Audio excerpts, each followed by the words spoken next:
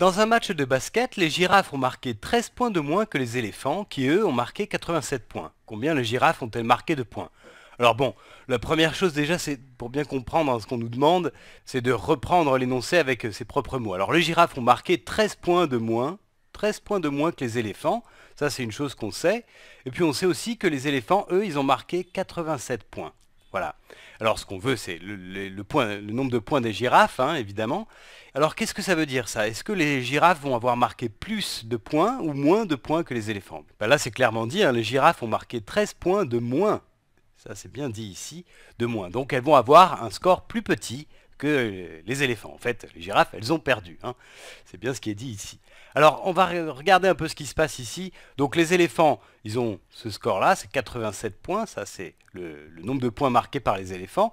Et les girafes, ben, on ne sait pas encore, c'est ce qu'on doit trouver. Donc, c'est ce point d'interrogation-là.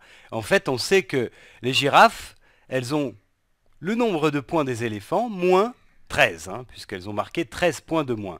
Donc en fait, ce, point d'interrogation-là, ça va être 87, le nombre de points des éléphants, moins 13, puisque elles ont marqué 13 points de moins. Voilà, donc là on a traduit le problème par euh, cette soustraction-là.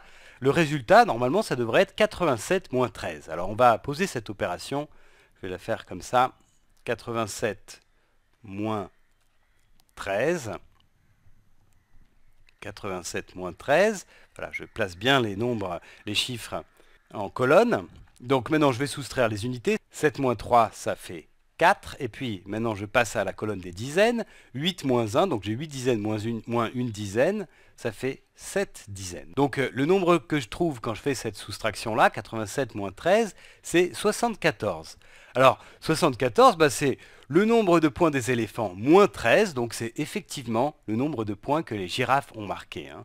Donc ça, cette réponse-là, ce, nombre-là, 74, eh ben c'est le nombre, c'est le score, de, le nombre de points, donc le score des girafes. Voilà.